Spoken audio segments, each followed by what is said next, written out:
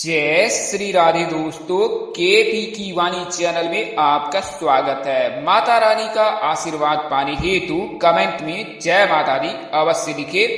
वहीं अगर आप महाकाल के भक्त हैं तो कमेंट में हर हर महादेव अवश्य लिखे।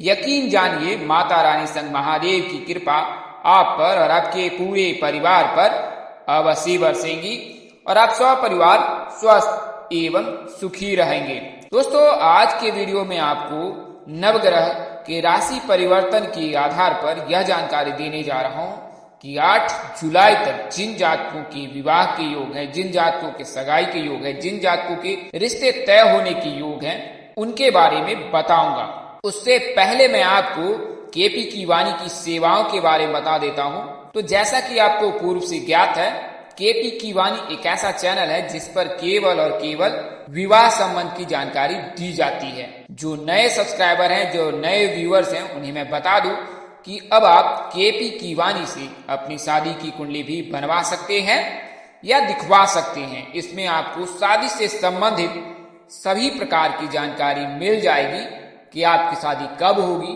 कहाँ होगी, कैसे होगी, किससे होगी, किस दिशा में होगी, कितनी दूरी पर होगी किस नाम से होगी? किस राशि से करनी चाहिए?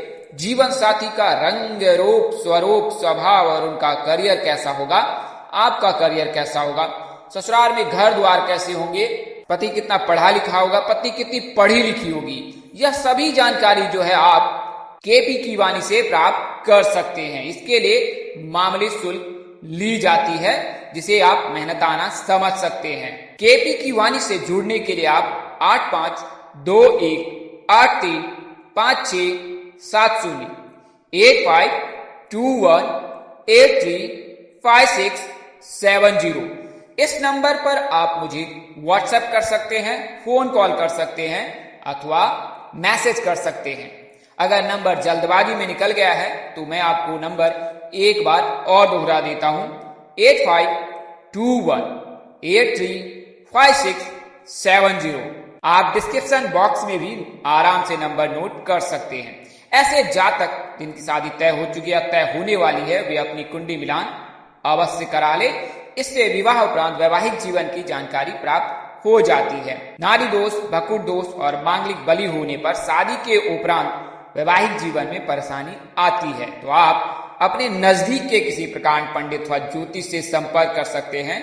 अन्यथा केपी की वाणी पर आपका स्वागत है। वहीं आप अपने बच्चे की कुंडली बनवा सकते हैं, उसका नामकरण करा सकते हैं। सगाई मुहूर्त, विवाह मुहूर्त, उपनयन तिथि, संपत्ति क्रय तिथि, वाहन क्रय तिथि, गृह प्रवेश तिथि, सभी तरह की जानकारी जो है आप केपी की वाणी से उचित शुल्क पर प्राप्त कर सकते हैं।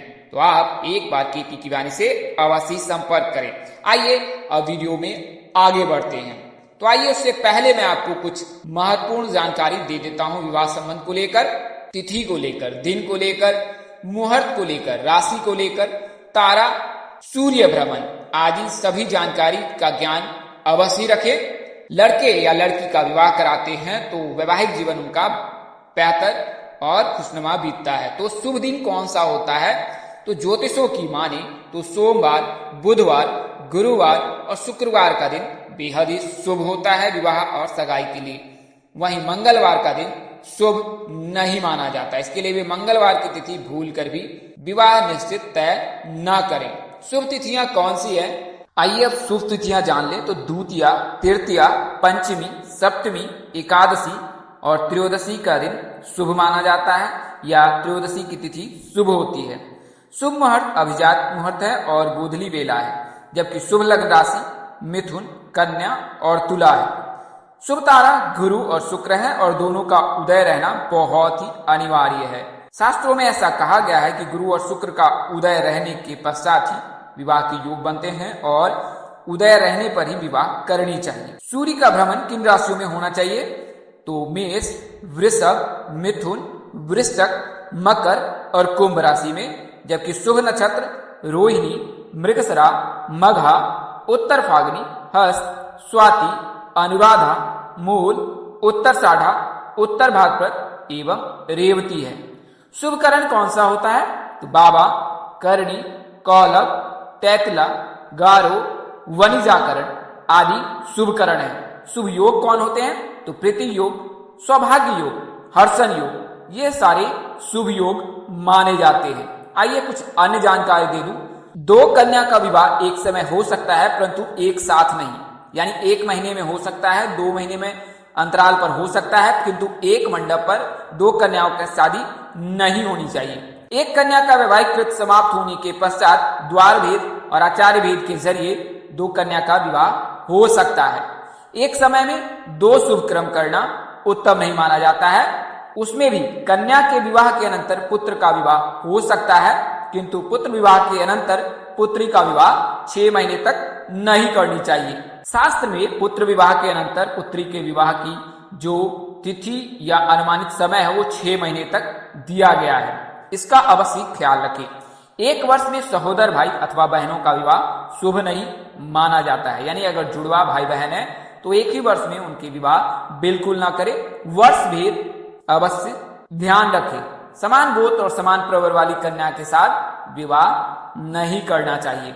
विवाह के पश्चात एक वर्ष तक पिंडदान मृतता स्नान तिल तर्पण तीर्थ यात्रा मुंडन, प्रेतानुमन आदि नहीं करना चाहिए।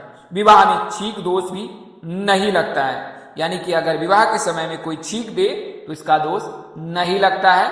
वहीं वैवाहिक कार्यक्रम में स्पर्शा स्पर्श का भी दोष नहीं लगता यानी कि अगर छोटे बड़े के पाँव लग जाए तो इसमें स्पर्शा स्पर्श का भी दोष नहीं लगता है। तो इन चीज़ों का अवश्य ध्यान रखें। आइए अब मैं आपको नवग्रह राशि परिवर्तन की पूरी जानकारी दे देता हूँ। तो सर्वप्रथम सूर्य की बात करते तो सूर्य वर्तमान समय में वृषभ राशि में है और 15 जून को मिथुन राशि में प्रवेश कर जाएँगे। इसके बाद जो है, मंगल वर्तमान समय में मीन राशि में है और 27 जून को जो है वो मेष राशि में प्रवेश कर जाएँगे।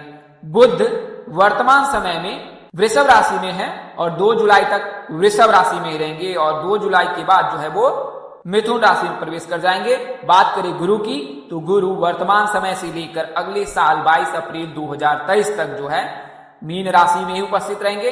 बात करें शुक्र राशि की तो शुक्र वर्तमान समय में मीन राशि में है। तेईस मई को मेष राशि में प्रवेश करेंगे और 18 जून को वृषभ राशि में प्रवेश करेंगे। तो इस तरह से शुक्र का गोचर होगा। बात करें राहु की तो वर्तमान समय में राहु मेष राशि में उपस्थित है। शनि वर्तमान समय में कुंभ राशि में उपस्थित है और 12 जुलाई तक कुंभ राशि में ही रहेंगे। तो इसके चलते मीन राशि, वृषभ राशि और कर्क राशि जातकों पे, कर्क और वृषभ राशि के जातकों पर शनि की ढैया चल रही है और मीन राशि के जातकों पर साढ़े साथी चल रही है। धनु राशि के जातकों को साढ़े साथी से मुक्ति मिल गई है। वहीं कुंभ राशि के जातकों पर साढ़े साथी का दूसरा चरण प्रारंभ होगा, जबकि मकर राशि के जातकों पर साढ़े साथी का तीसरा चरण प्रारंभ होगा 12 जुलाई से। या कुल मिलाकर कहे तो तीसरा चरण उन पर चल रहा है और 29 मार्च 2025 को उनको मुक्ति मिल जाएगी साढ़े साथी से, जबकि कुंभ राशि के जातकों को भी लंबा इंतज़ार करना पड़ सकता है। शुक्र जिस राशि में प्रवेश करते हैं, उस राशि के जातकों के विवाह के प्रबल योग बनते हैं, खासकर लड़कों के। शुक्र स्त्री सुख और विवाह सुख के कारक माने जाते हैं। अगर शुक्र मज़बूत हो तो लड़कों की शादी शीघ्र हो जाती है। गुरु के मज़बूत रहने पे लड़कियों की शादी शीघ्र हो जाती है। तो शुक्र का गोचर वर्तमान समय में मीन, इसके पश्चात मेष और फिर वृषभ राशि में होगा। जबकि गुरु मीन राशि में उपस्थित है तो इन दोनों राशि के जातकों के तो विवाह के प्रबल योग बन रहे हैं। जब मेष राशि में गोचर करेंगे, शुक्र तो 25 दिनों के लिए मेष राशि के जातकों के सगाई के योग बनेंगे, रिश्ते तय होने के रिश्तेदार आ सकते हैं, अजनबी घर पर आ सकता है फ़ोन कॉल आ सकता है। यानी कि रिश्ते की जो है, वो शुरुआत हो जाएगी और 25 दिनों में मेष राशि के लिए बेहद शुभ समय रहने वाला है, खासकर विवाह संबंध को लेकर। बात करें मीन राशि के जातकों तो मीन राशि के जातकों पर अभी गुरु के चलते जो है, सभी बिगड़े काम बन गए हैं। और उनके जो भी फैसले वो ले रहे हैं, उनमें उनको सफलता मिलने की पूरी पूरी संभावना है। इसकी संभावना भी अधिक है कि मीन राशि के जातकों के 22 अप्रैल तक सगाई शादी संपन्न हो जाए, यानी अगले वर्ष तक। यानी कुल मिलाकर एक साल नौ दिनों तक जो है, गुरु मीन राशि में उपस्थित है और इस दौरान मीन राशि के जातकों के लिए तो सोने पे सुहागा जैसा समय है और इस समय में आप नए सूत्र में अवश्य बंध जाएँगे। अगर कुंडली में किसी प्रकार का कोई दोष नहीं है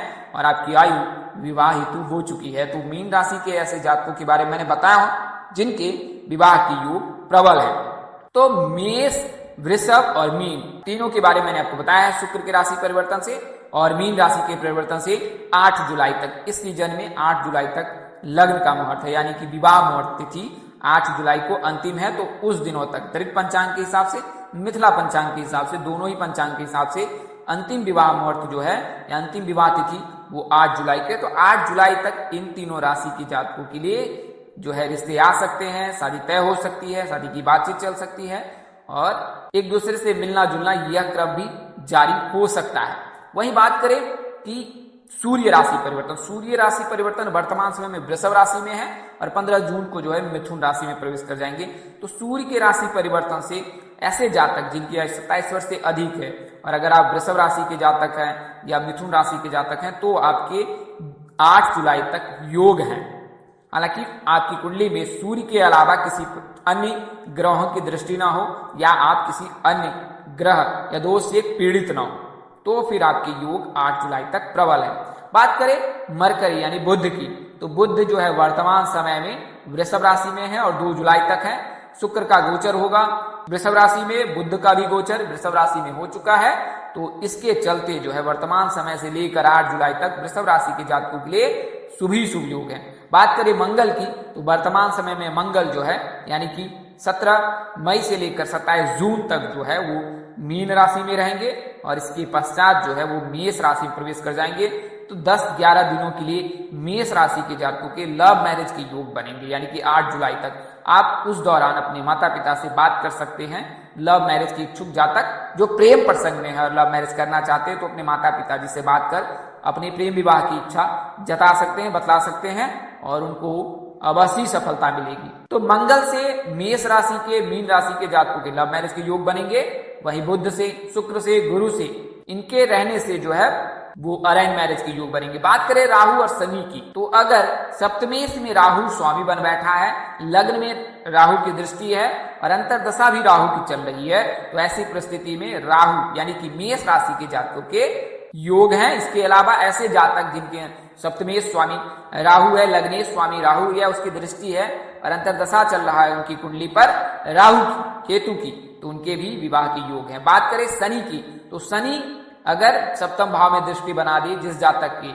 और उसकी आयु तीस वर्ष से अधिक है तो उसके विवाह के योग बन रहे हैं आठ जुलाई तक। तो मैंने आपको इस वीडियो में उन चार राशियों विस्तार से बताया जिनके विवाह के योग 8 जुलाई तक बन रहे हैं। तो दोस्तों, इस वीडियो में बताई गई जानकारी ज्योतिष पंचांग मान्यताओं, धर्म ग्रंथों ग्रह राशि परिवर्तन के आधार पर दिए है। हमारा उद्देश्य महज आपको सूचना पहुंचाना है। आप इसे सूचना हेतु ले, इसके अतिरिक्त अगर आप इनको मानते हैं, अपनाते हैं, अथवा उपयोग करते हैं तो इसके आप स्वयं जिम्मेवार हैं।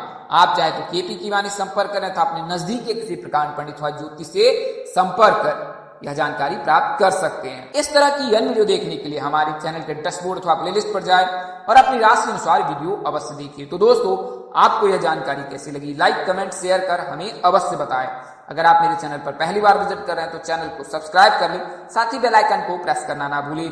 माता रानी कृपा से आपके चेहरे पर हमेशा मुस्कान बनी रहे। आप स्व परिवार स्वस्थ एवं सुखी रहे। आप सभी के प्यार और स्नेह की आप सबको हृदय से धन्यवाद करता हूँ। आप लोग इसी तरह हमारे साथ जुड़े रहे।